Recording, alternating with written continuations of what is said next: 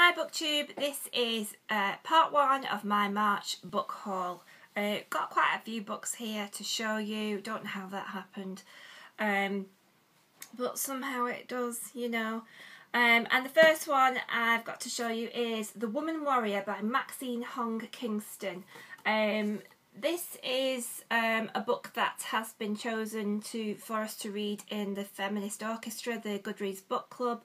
Um, and this looks like it's um, a memoir of a, a, childhood in, in China um, and about the tradition and what it's like to be a woman there in China. Don't know much about it, but it's really, really um, got good reviews. It's it looks like it's you know going to give you an insight into women's lives somewhere else in the world. So quite happy just to dive into this one. And the cover is beautiful. It's just a beautiful stalk, and look at the lovely salmony colour, and it's Picador Classic. So yeah, so that's just stunning, serene, beautiful. So I'll let you know what I think of that when I've read it. Again, on The Feminist, this book I think has just come out and this is called Do It Like a Woman by Caroline Criado Perez. This is the lady who um, experienced a lot of trolling and um, a lot of um, online hate because of her campaign when they announced that they were going to uh, reissue the, the banknotes that she wanted to campaign for a woman because there were no women on the banknotes and she got a lot of flack off uh, certain people for that um, and obviously that was completely uncalled for and she was successful and now I think we're going to get Jane Austen on £10 note. Um, so this is, it says on the back, doing anything like a woman used to be an insult.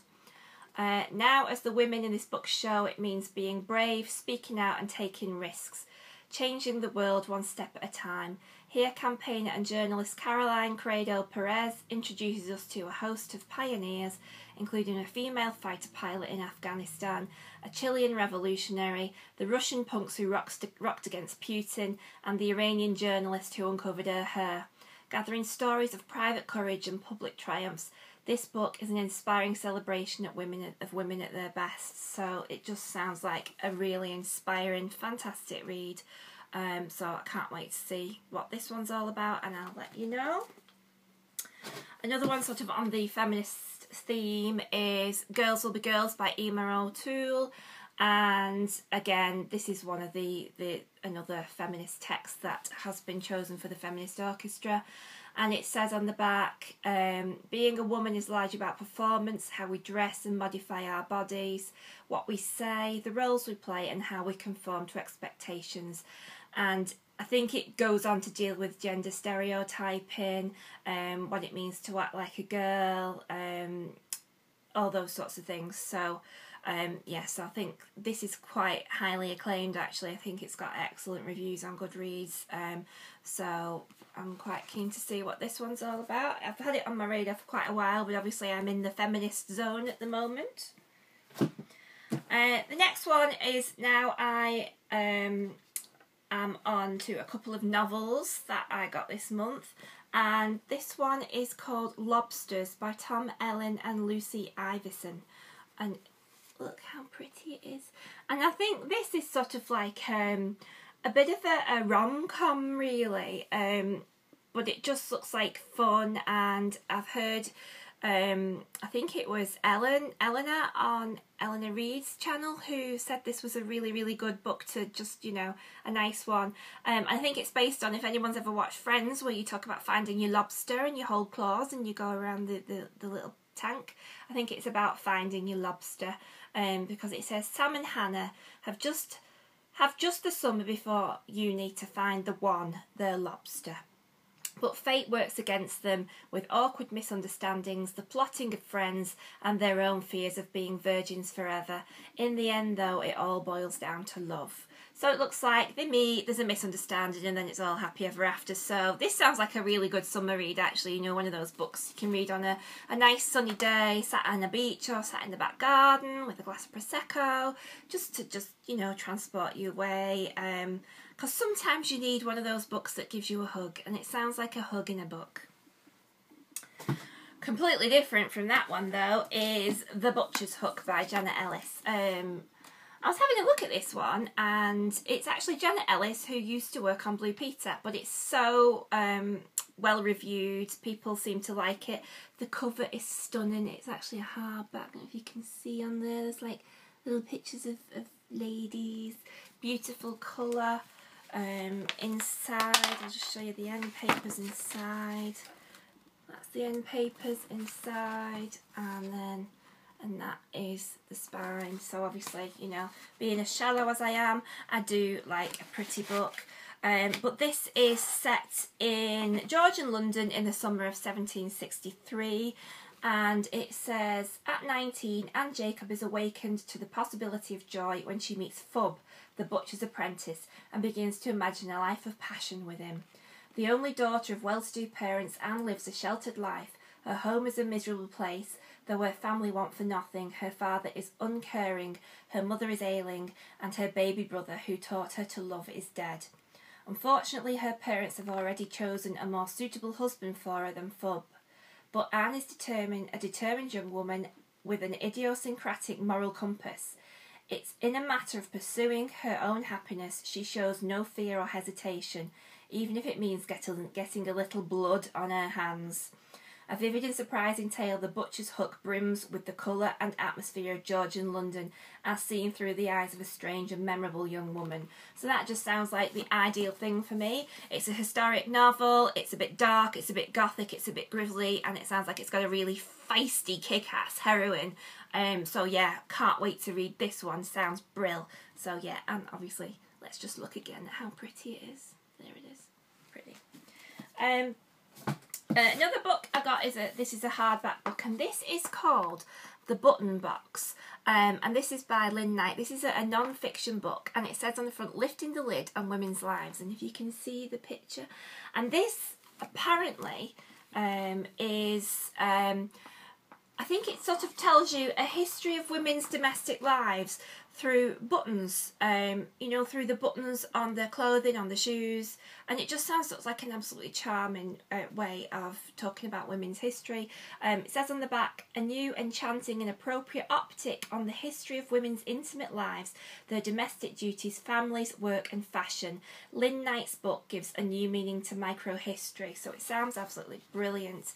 It's an absolutely beautiful book. These are the end papers, all these pictures of buttons um, and I think each chapter um, has a little button at the, the beginning of it. And like this is chapter 5 the shoe button.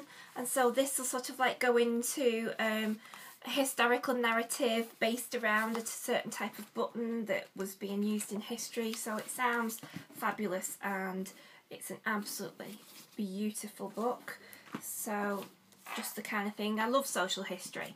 Um, I'm, I love history generally, but I love the way um, it affects real people's lives. I love seeing great big historical events through the eyes of the people who lived it on a day to day basis. You know, putting yourself in the shoes of that person if you'd have been there in that time. Uh, little book I've got is um, this is um, World Book Day um, edition of a Rainbow Rowell book. Um, Kindred Spirits from the best-selling author of Fangirl, Rainbow Rowell. And it says for older readers. And this is just a little one-pound edition of a Rainbow Rowell um, book. And that was a, um, for World Book Day this year. So I haven't read it yet, but it just looks like, obviously, I'm getting into Rainbow Rowell now, having just recently read Fangirl and have Carry On on the shelves. Um, so yeah, so that was only a little pound, and so supporting World Book Day, so I bought that one. This is a tiny, tiny, tiny little pamphlet of a book, but it's a little Penguin Modern Classic edition of uh, The Lottery by Shirley Jackson. It's absolutely tiny, and um, this again was only 99p. Um, but this is like the short story that I do believe is, is sort of like a precursor to the Hunger Games. So um, I saw it and I thought I'll just grab that and it'll be a quick read. So I can just have a look at that because I've not read any Shirley Jackson yet. And then in addition to that, we had Mother's Day this month, and I've got two children. So my two children, this book was bought for me by my son, and this is How It Works, the Mum. And there's a picture of the mum in there. I have often been seen in that position usually. I don't know if she has a glass of Prosecco hand nearby, but often with a glass of Prosecco. And these are um, absolute roaring success, these little penguin editions of the, uh, penguin editions, the Ladybird editions um, of these tongue-in-cheek satirical little things. I think there's one on the husband, um, the wife, the hipster, dating, those kind of things. And I am old enough um, where most of my reading as a child was Ladybird books because um, that's all we had. Um, and I, I, all my fairy stories were from uh, Ladybird books, and, and I cherished them, and I read them over and over. I loved books like The Enormous Turnip and The Princess and the Pea and Snow White. So this really takes me back, um, and the illustrations and the writing are just in the style as they were when I was a kid. So I haven't read this one yet, but obviously it was a great present for Mother's Day. Um, so we'll see how the mum works and let me see how I measure up to that. Um, my daughter bought me this beautiful edition of my favourite book of all time, Jane Eyre. It is um, a penguin cloth bound classic and it's just beautiful.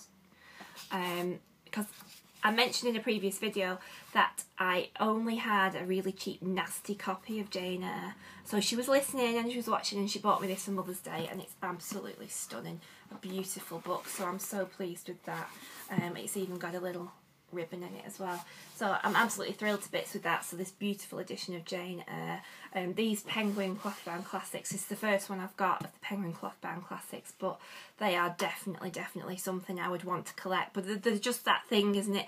Because they're that little bit more expensive, you make the decision should I buy it for myself should I not and then you often end up getting a cheaper one um, so it's a great thing for someone to buy for a present so that's beautiful um, and my final book is a book that I forgot to mention in last month's book haul.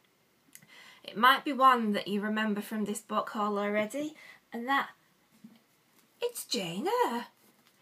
Um, this is a beautiful leather-bound classic of uh, Jane Eyre by Charlotte Bronte. If you can see, it's absolutely stunning. This is quite expensive, um, but my mum gave me some money, and so you can't ever have too many editions of Jane Eyre. I know you all understand, you're all book nerds.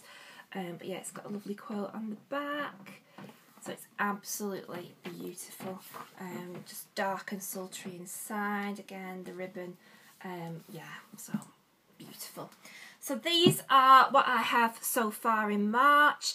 Um, maybe there'll be another book haul in March. I don't know. This is why I'm calling it part one because we are only halfway through March and yeah, I know I've got issues with books, but you know, you understand. So there may be another book haul to come. I suspect there will be. Um, let me know what you're reading and what you've got this month and give us a big thing, thumbs up if you like what you see. Leave me some comments down below. I love it when we all get together and chat. And if you like what you see, subscribe and I'll see you all soon. Bye.